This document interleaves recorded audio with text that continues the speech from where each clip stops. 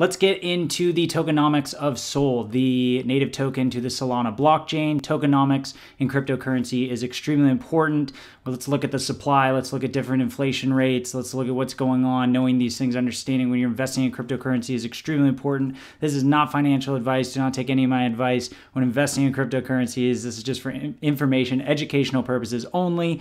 Let's uh, get right into this. So here we're on CoinGecko and we have our circulating supply and we have our total supply. What's interesting with Solana is there are quite a few blockchains that have max supplies, and then there's the circulating supply. Uh, however, with Solana, there is technically no max supply. So the inflation can happen indefinitely. I'm going to go over the inflation rates and what that's looking like. But it is interesting because there is kind of two different inflation rates. Now, looking at circulating supply, that is going to be all the tokens that are actually on the that are on the blockchain that are able to be traded and used and staked and all these things.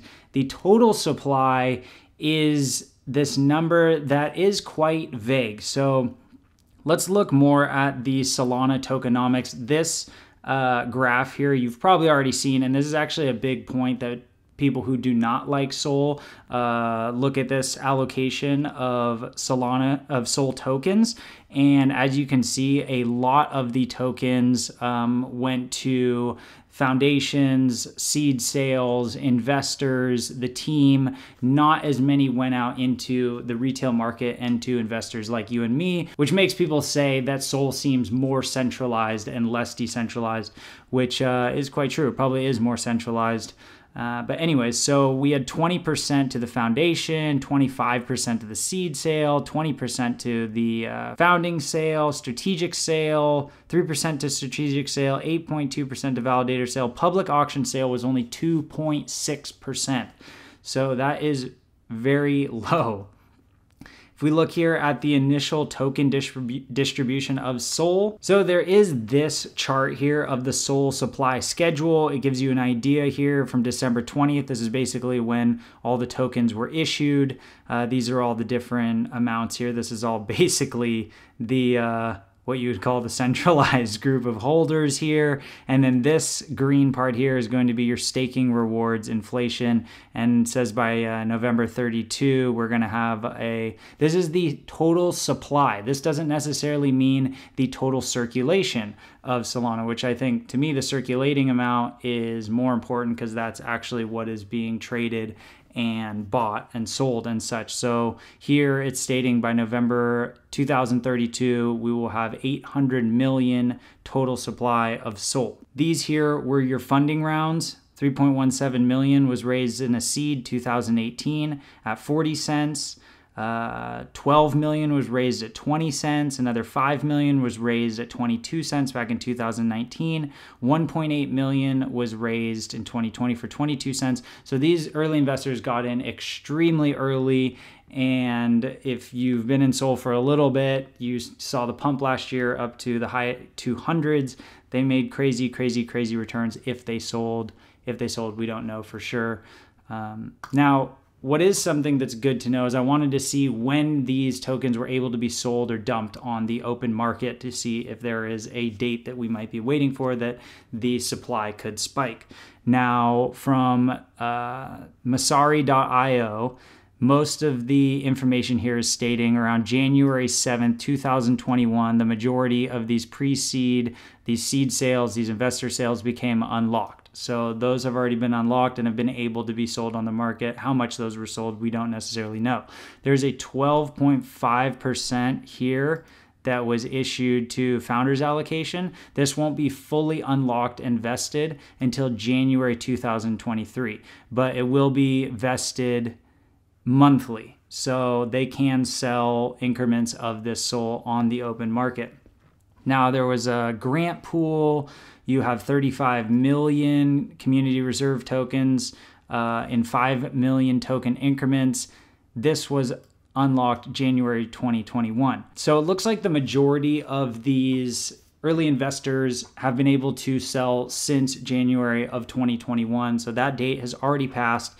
Uh, how much they still hold, we don't know for sure, but this is good to look at. Now, the thing that I wanted to look into is the inflation. Inflation to me is extremely important when investing in currencies, and the US dollar has crazy inflation right now, and a lot of these crypto especially the proof of stake, have inflation. When you look up Solana inflations, these are the quick numbers you find. The initial inflation rate is 8%.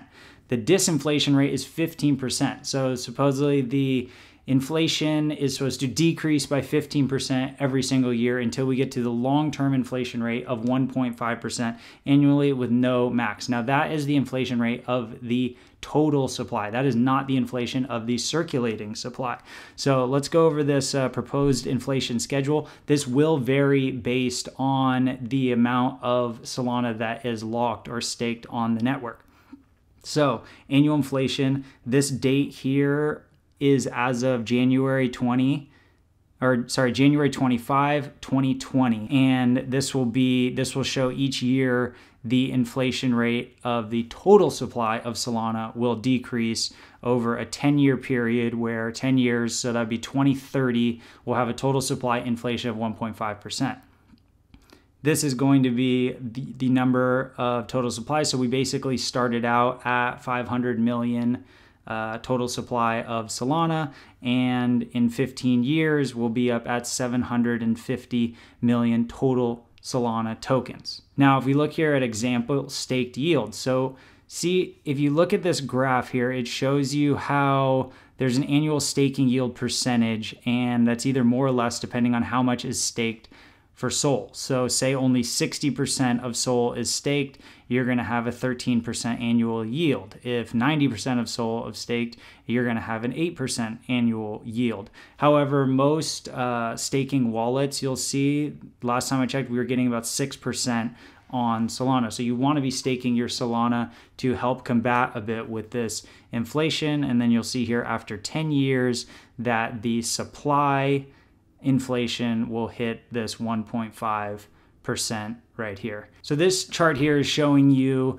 the, this chart goes over the inflation of the total supply of Solana. Uh, I made a video about the inflation and tokenomics of Kadena. I also like that project as well. I'll link it in my description. You can check it out. Uh, one of the, uh, one of my followers talked about comparing it to the inflation of Solana. Um, and you know, it seems like cryptocurrency is very campy. Everyone's camp Team Solana, Team Kadena, Team Cardano. I don't prescribe to really any of this. Uh, I think there is a lot of unknowns, uncertainties in this space. I like to diversify my portfolio amongst a bunch of different projects that I see the potential of there being growth and seeing who wins. I don't like to be all in on one thing and necessarily trash one thing. Seems like the narratives switch a lot. So that's kind of my approach to this. And I am a holder of Solana. I'm also a holder of Kadena. I'm also a holder of Cardano. I'm also a holder of Avalanche. So when I'm making videos about these things, it doesn't necessarily mean this is the only thing I believe in. I see people talking about videos of someone bashing Kadena and they go, oh, he's a Solana holder and all this. And, you know, I, I don't know. There's bad things about Solana. There's bad things about Kadena. There's bad things about Avalanche. There's good things about Avalanche and Solana and Ethereum. And, and th- there are pluses and minuses to all these projects. You have to figure out what makes sense with your investing um, strategy. Now, this chart here by Messari.io to me is very important. This is over the five year period. Uh, this blue part is our circulating supply of SOL. The gray line here, this is our price action. Now, uh, it would make sense that, um, you know, when there was actually, if you look at this, the price of SOL isn't necessarily, yes, right now it looks like, oh, yeah, the circulating supply has gone up, the price is down, that makes sense, there's more supply. But really, this is a demand situation. The demand has just decreased a lot. There was a ton of demand here for Solana, there's less demand here. Yes, there is more, uh, the supply has gone up, but is not a direct correlation. The, the, circulating supply of SOL, SOL does not directly correlate between the price action, or else this gray line would be generally following this downwards like this, right? If this, if they were directly correlated, you'd have a much smoother, uh, you'd have a higher you'd have a higher original price here, and it would kind of come down because there'd be that would be saying there's equal demand basically, and I kind of have referenced this in comments in my other videos that the the supply, the inflation, these things is really important. But so much that drives these coins is demand, and uh, or the price action of these coins is demand, and whatever that may be, whether it's a narrative, whether it's the actual tech, whether it's user bases, TVL, uh, all these different things, they all come into play when valuating in the market of a uh, cryptocurrency. So this is the circulating supply of SOL, and this is the actual amount that is out there being traded. Now, this information here is quite important. It says the circulating supply acknowledges that tokens may be held by projects, foundations which have no intent to sell down their positions, but which have not locked up supply in a formal contract. Thus, circulating supply does not include known project treasury holdings, which can be significant. Note that an investor may must carefully consider both liquid and circulating supplies when evaluating an asset. The two can be very significantly a risk depending entirely on circulating supply, is that the number can change dramatically based on discretionary sale from project treasuries. So they're saying there is a possibility that there are other coins that are kind of circulating, but or that are out there, but they're not necessarily being traded at this very time, but they could come onto the market. And, anyways, but the number to me that is extremely important when I'm looking at this so, this is the five year chart. We can look at the one year chart here. Now, this does look like there is a direct correlation, um, but basically, this is just the bull run ending, moving into a bear market, and the supply is still going up. Uh, this is mainly going to be from staking emissions. But look here, I wanted to put in the date. Today is September 7th, 2022. So a year ago, we had 292 million in circulating supply. Today, we have 349 million. We've had a 20% increase of circulating supply. So even though the total supply has this annual inflation of 8%, uh, we have a circulating supply inflation of 20%. That is uh, quite a bit of supply, but as I that is quite a bit of inflation. But as I showed earlier, that the price doesn't necessarily directly correlate to the amount of inflation. So when this bear market ends and the bull market comes back, can Solana pump? And can the demand outweigh the inflation and bring up the price? Absolutely. Is there more circulating um, SOL tokens than there was back during the last bull market. So we can look here. Uh, during the last peak peak of the bull market, we had 302 uh, million Solana tokens. So let's actually look at what the inflation has been since that date. Let's go back to November 8th. So if you look here, we have had an increase in circulation since the last peak of the price of Solana of 16%. Now, if it was directly correlated, the price would have only dropped by 16%, but obviously, as you can see, that's not the case. It's dropped by like 80, 90. It's dropped by a crazy amount. Uh, but that's cryptocurrencies. It's unregulated. There's a lot of retail money. Uh, there's a lot of big players here that probably sold huge bags and made out with crazy, crazy gains.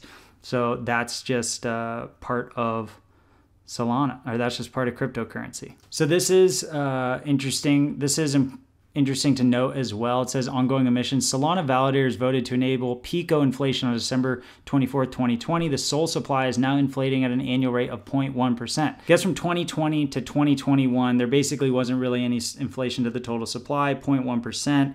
And then uh, they said the final inflation proposal includes an initial annual inflation of 8%, decreases 15% annually, and down to 1.5% of that total supply. But as you can see here, the uh, annual circulating supply has been inflating by 20%, uh, which from a currency perspective is not good, but this is cryptocurrency. These prices move really fast. Uh, this is, um, yeah, so hopefully you enjoyed this uh, quick breakdown of the tokenomics of Solana. If you did, please like the video, subscribe to my channel. Doesn't cost you anything, especially a little like to the video, or leave your comment, leave it, leave your thoughts. Uh, tell me if you think I'm wrong. Tell me if you think I'm right. I don't mind either way. And uh, yeah, let's keep going. Woo!